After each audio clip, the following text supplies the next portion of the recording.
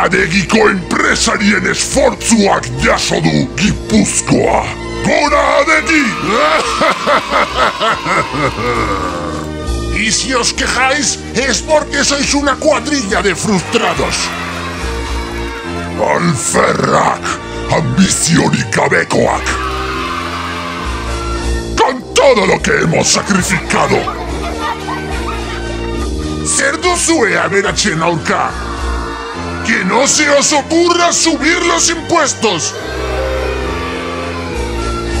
Normal que los ricos se vayan a Andorra. Argia ezin duzula ordaindu. Zure arazoa da. Que no llegáis a fin de mes. ¡Apretaos el cinturón! Gorriak ikusiko dituzue!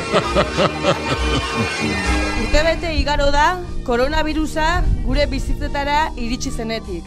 Eta hemen hasieratik agintarien helburua virusa ezabatu beharrean, hau murriztu eta berarekin bizitzen ikastea izan da. Beraien esanetan, ekonomia salbatzeko modu bakarra omen zen. Eta urtebeteren ostean, beraien erabakien emaitzak begibistakoak dira. Ez daukagu, ez ekonomiarik eta ez osasunik.